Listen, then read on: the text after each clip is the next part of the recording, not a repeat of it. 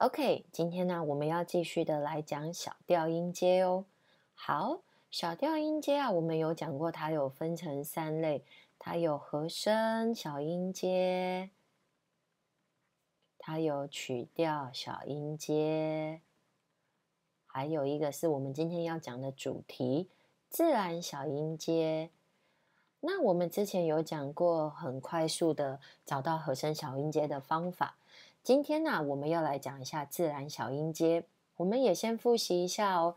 小音阶呢，小调音阶呢，其实你可以找到它的关系大调，然后啊，把它往下三小三度，然后呢，自然小音阶是没有加上任何的升降记号。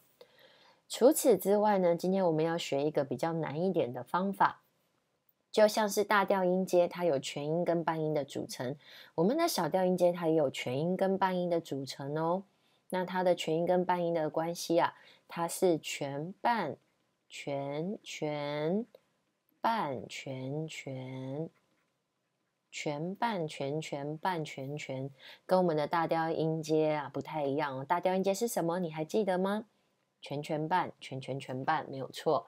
好。那我们的小调音阶啊是全半全全半全全，那我们就直接来看键盘喽。好，自然小音阶啊，它的全音跟半音的关系呢是全半全全半全全全半全全半全全，它跟大调音阶的全全半全全全半很不一样吧？我们再记一次哦，它的小调音阶啊是全半全全半全全。那我们来看一下键盘，我们选择用这个一咪这个音啊，我们来当出发点哦。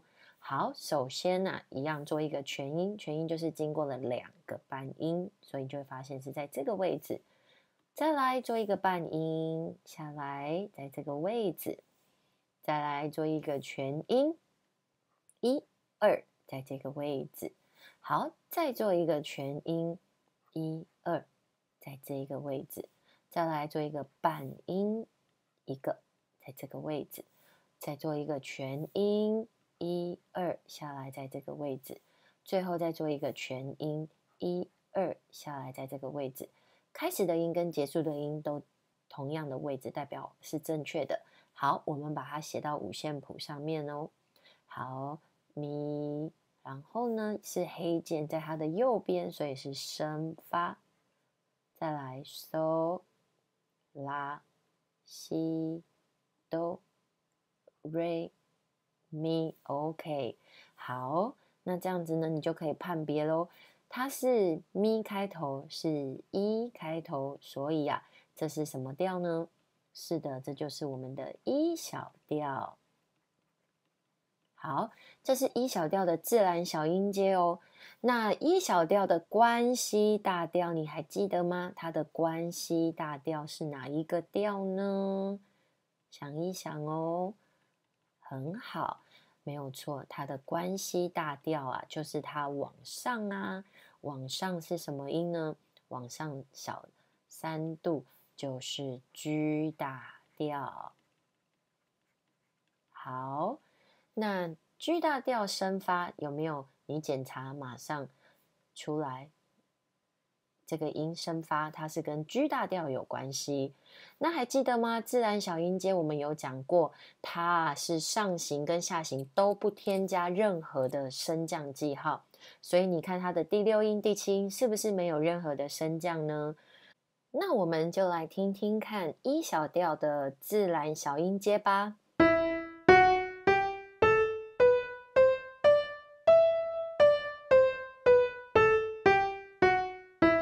OK，我们现在听的是自然小音阶哦，它是由全半全全半全全所组成的哦。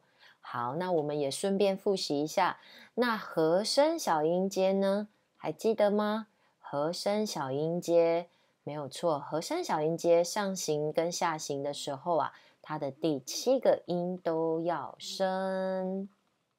好，所以啊，第七个音在这个位置。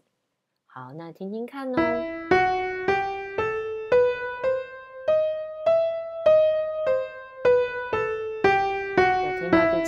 上行跟下行都有升吧，那除了自然和声，还有一个小音阶叫做曲调小音阶。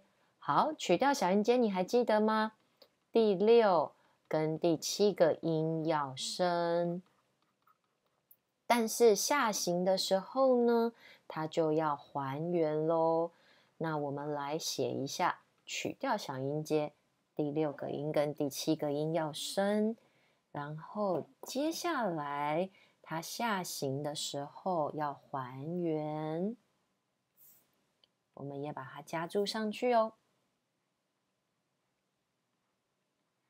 好，那你来听听看哦。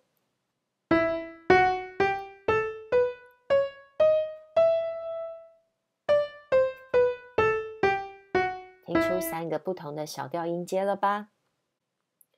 最后啊，我们来挑战一个。升发的小音阶好了，升发哦，我们来做一个升 F 小调。好，再赶快复习一下和声、自然跟曲调。我们要用全音跟半音做出来的是自然小音阶，然后呢，它是什么呢？全半全全半全全。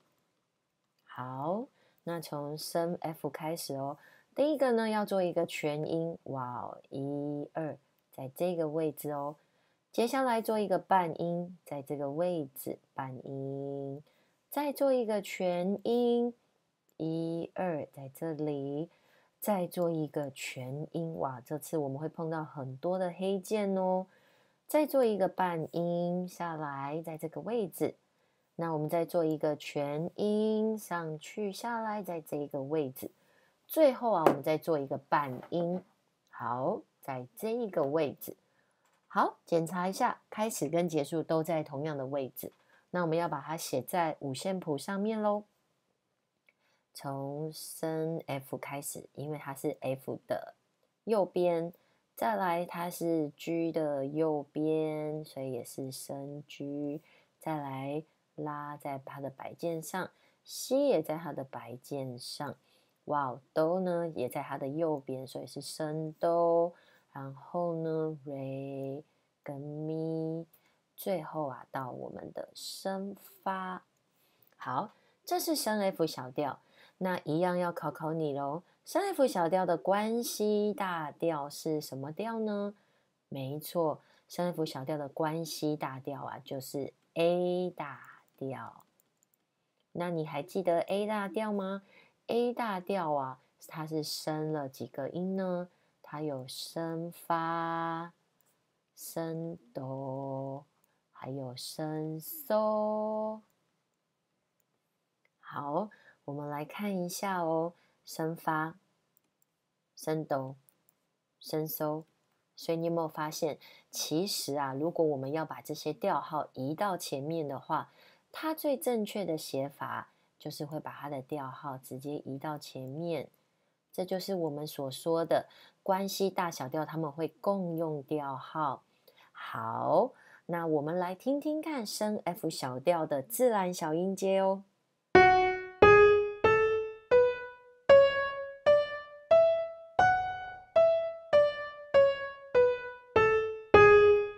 接下来呢，我们同样来听听看它的和声小音阶，没有错，第七个音要升，第七个音一二三四五六七，所以我们的咪呀也要升哦，咪也要升就会跑到这个位置喽。好，我们来听听看。